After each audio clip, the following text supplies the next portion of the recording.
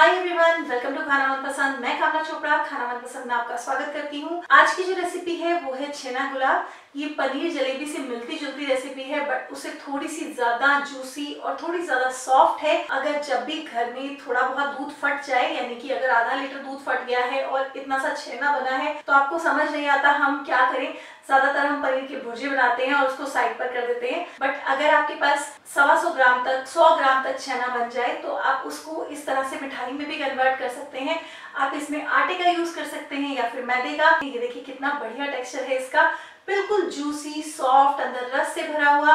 ज़्यादा time waste ना करते हुए हम छेना गुलाब की रेसिपी शुरू करते हैं। छेना गुलाब बनाने के लिए मैंने यहाँ पर लिया है तीन कप दूध, यानी कि साढ़े सात सौ एम दूध है, तीन पाव दूध है यहाँ पर। इसको हम बॉईल कर लेंगे और उसके बाद हम इससे छेना बनाएँगे, यानी कि पनीर बनाएँगे। उसके लिए मैंने यहाँ पर तीन बड़े चम्मच सिरका लिया और उसमें उतना ही पानी मिला लिया है। यहाँ पर मैंने व्हाइट विनेगर लिया है, जो सिंथेटिक विनेगर होता है। अगर आपके पास ये ना हो तो आप इसी तरह से दो नींबू का रस निकाल लें और उसमें सेम अमाउंट में पानी मिला लें और उसके बाद आप इसको दूध को फाड़ सकते हैं तो मैं यहाँ पर पहले इसे बॉईल होने दूँगी। बॉईल करते वक्त हम इसको थोड़ा थोड़ा इस तरह से हिलाते रहेंगे ताकि नीचे से लगे नहीं। तो मैंने यहाँ पर सेमी जो फैट वाला दूध होता है, वो लिया है। फुल फैट मिल्क नहीं है यहाँ पर। दूध में उबाल आ चुका है, इसको एक बार मिक्स कर लेंगे।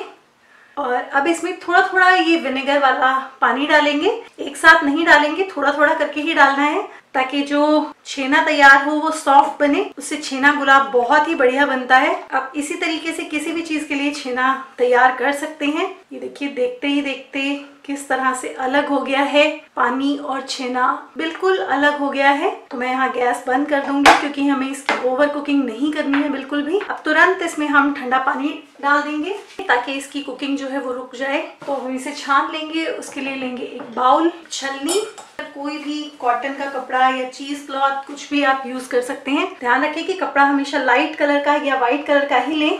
इसमें से हम ये छेना जो है वो निकाल लेंगे। अब ये जो छेने से पानी बचा है, इसको आटा गूंदने के लिए, चावल के लिए या फिर आप इसका इस्तेमाल कर सकते हैं पराठे वगैरह, पूरी वगैरह का डो लगाने के लिए। तो इसको हम इस तरह से, देखिए इस तरह से निचोड़ लेंगे। तो ये देखिए मैं इसको अच्छे से वॉश कर लूँगी, ताकि इसमें से अगर कोई खटास हो सिरके की तो वो भी निकल जाए। आपको इसकी कुकिंग रोकने के लिए ठंडा पानी, यानी कि बर्फ़ वाला पानी डालना है छेना में, जब आप उसे बना रहे हो तो। बाद में आप इसे साधारण पानी से धो सकते हैं। धो लिया है मैंने इसे, और अब हम इससे पानी निकाल लेंगे। बहुत ज़्यादा नहीं निचोड़ेंगे और 10 से 15 मिनट के लिए इसको इसी तरह से टांग दूँगी, ताकि एक्स्ट्रा जो इसमें से पानी निकल रहा है, वो निकलना बंद हो जाए।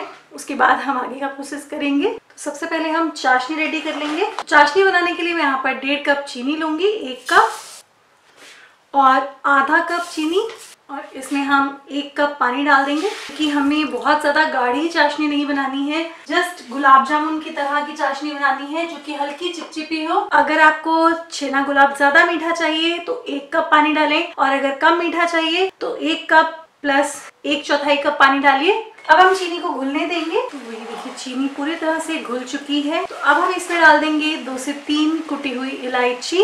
इससे बहुत ही अच्छी खुशबू और फ्लेवर आता है। आप चाहें तो इसमें केसर भी ऐड कर सकते हैं। और इसी के साथ इसमें ऐड कर देंगे एक चुटकी खाने वाला ऑरेंज कलर मैंने यहाँ पर येलो और ऑरेंज कलर दोनों ऐड किए हैं ताकि ब्राइट सा कलर आए। छेना गुलाब में। तो चाशनी लगभग रेडी हो गई है। हम इसे चेक कर लेंगे ये हल्की चिपचिपी हो चुकी है। इसमें कोई तार नहीं है। तो मैं इसमें दो से तीन ड्रॉप्स लेमन जूस यानी कि नींबू का रस डाल दूँगी। इससे ये जमेगी नहीं, चाशनी जो है क्रिस्टलाइज नहीं होगी। तो इसको हम साइड पर कर देंगे। अब हम छेना गुलाब के लिए बैटर रेडी कर लेंगे। तो यहाँ पर छीना से सारा पानी निकल गया है। ये देखिए, बिल्कुल अच्छे से ड्राई हो चुका है। और हम इसको वेट कर लेंगे। ये देखिए तो यहाँ पर लगभग 110 115 ग्राम के करीब छेना बन करके रेडी हुआ है। आप 100 ग्राम 100 से सवा सौ ग्राम तक छेना भी यूज़ कर सकते हैं रेडीमेड पनीर ले सकते हैं। तो अब हम इससे गुलाब बनाने की तैयारी करेंगे। तो ये जो छेना है, हम इस मिक्सी के जार में डाल देंगे। हमें इसका बिल्कुल क्रीमी सा पेस्ट बनाना है, जिससे कि हम इसको जलेबी की तरह शेप दे सकें और बिल्कुल जलेबी के बैटर की तरह इसकी हमें थिकनेस बनानी है। तो छेना डालने के बाद मैं यहाँ पर चार बड़े चम्मच, यानी कि वन फोर्थ कप आटा डाल दूँगी। आप आटा या मैदा कुछ भी ले सकते हैं। इसी के साथ मैं इसमें एक चौथाई कप दूध डाल दूँगी, क्योंकि हमें इसका पेस्ट बनाना है तो मैं यहाँ दूध का यूज़ कर रही हूँ, आप पानी भी यूज़ कर सकते हैं। इसी के साथ मैं इसमें एक चौथाई चम्मच बेकिंग पाउडर डाल दूँगी। आप चाहें तो बेकिंग पाउडर की जगह इसमें दो चुटकी बेकिंग सोडा भी यूज़ कर सकते हैं। और अब हम इसको एक बार पीस लेंगे। तो ये देखिए हम इसे चेक कर लेंगे। देखिए, अभी काफ़ी थिक है ये मिक्सचर आप देख सकते हैं। ये देखिए, काफ़ी थिक है। तो हमें इसको जलेबी का बैटर की तरह बनाना है। तो इसमें दो बड़े चम्मच पानी में और ऐड कर रही हूँ। तो इसको एक बार फिर से चला लेंगे। तो इसे चेक कर लेंगे।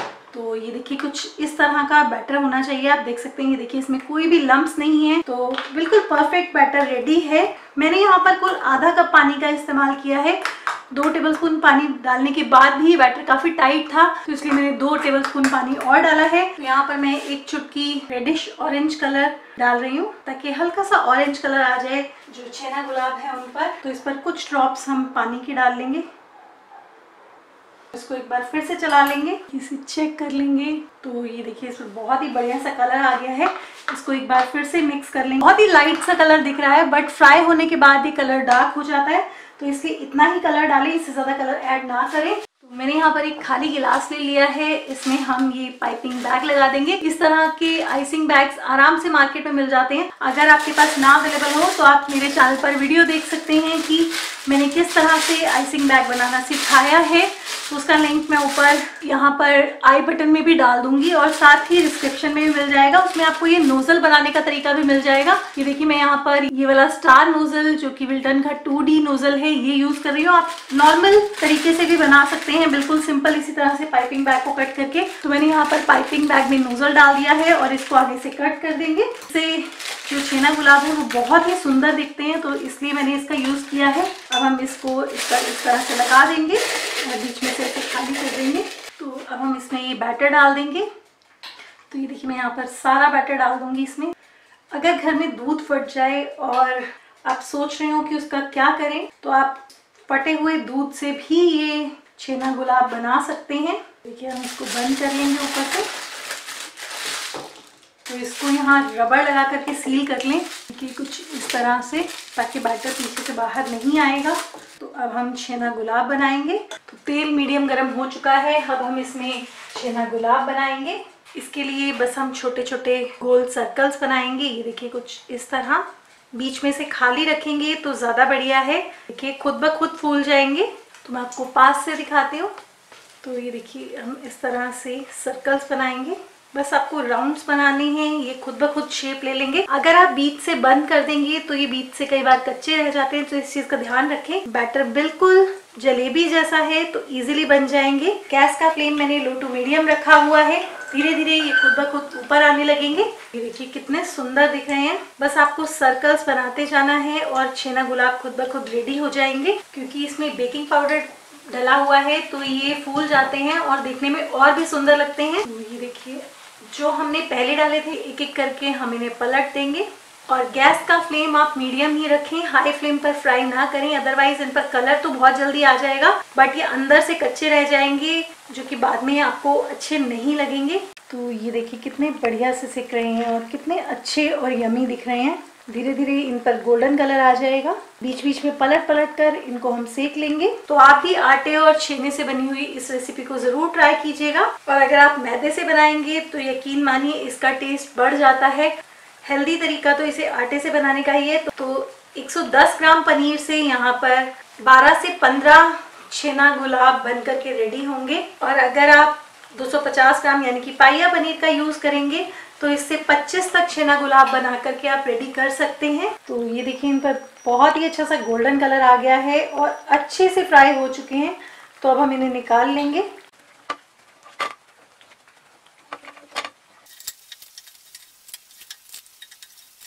तो ये देखिए, सभी छेना गुलाब कितने अच्छे से फ्राई हो गए हैं। अब हम इनको चाशनी में डाल देंगे।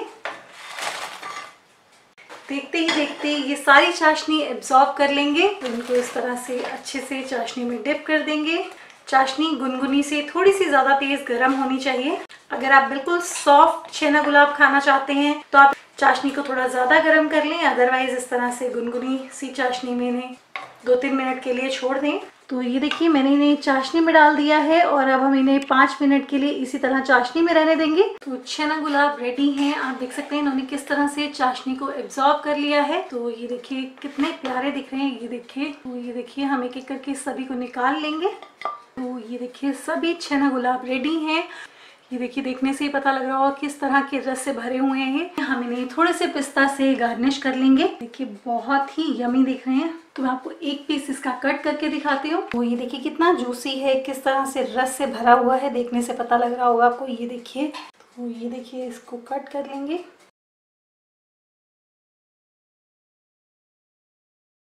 तो आप इसका अंदर से रस भरा टेक्सचर देख सकते हैं। ये देखिए किस तरह से रस से भरा हुआ है। तो आप भी ये छेना गुलाब की रेसिपी ज़रूर ट्राई कीजिएगा।